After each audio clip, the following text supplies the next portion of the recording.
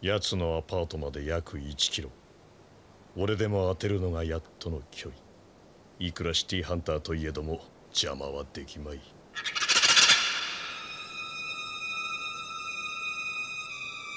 野上玲香殺すには惜しい女だがこれ以上お前さんに動かれると迷惑なんでな。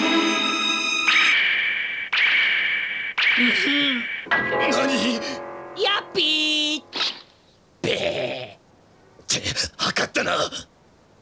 やめておけ。動けば死ぬことになる。バカめ。この距離で撃ち合って俺に勝てるとでも。ななんで1キロ先の相手の声が聞こえるんだ？はい。ヤッホー。深町くん感度良好かな？貴様いつの間に？ダメだな。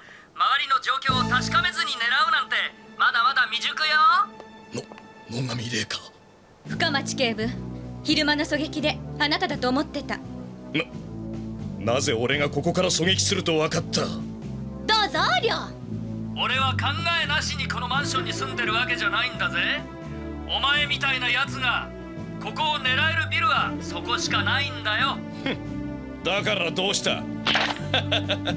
俺のターゲットはここにいるんだぜ。おいおい俺が狙っているのを忘れちゃ困るな 俺以外の人間がこの距離を当てられるものか。死ね！え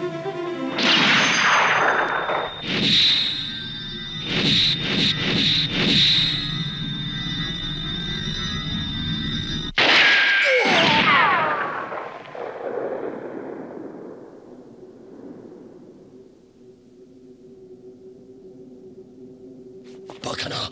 こんな細い中心に。まさかそんなはずがない。それができるのさ。俺は不可能を可能にする男なんだよ。ま負け惜しみよ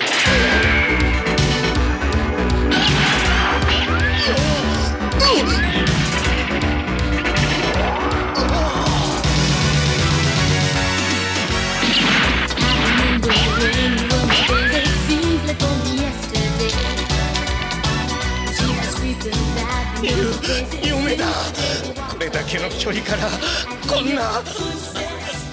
オタクオリンピックか世界一か知らんが所詮は素人。悪いが俺はプロの世界一なんだ